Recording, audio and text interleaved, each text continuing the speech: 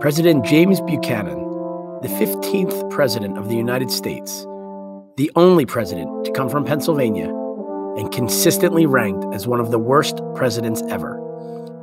But why? President Buchanan served just before Abraham Lincoln and the Civil War. Buchanan opposed slavery, but he felt that the Constitution protected the rights of those who wished to own slaves. He tried to keep the peace, but failed to deal with the idea of secession, or states breaking away from the Union. This is seen as the worst presidential mistake ever. Roughly 620,000 soldiers would go on to die in the Civil War, historically landing James Buchanan as one of, if not the worst United States president.